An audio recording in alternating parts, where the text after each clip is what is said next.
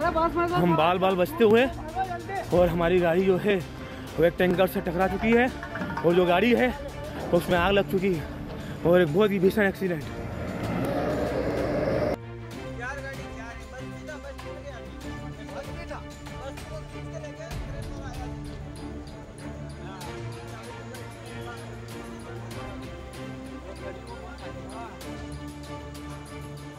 चार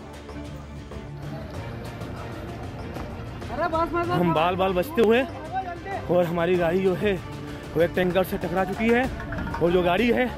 उसमें आग लग चुकी है और एक बहुत ही भीषण एक्सीडेंट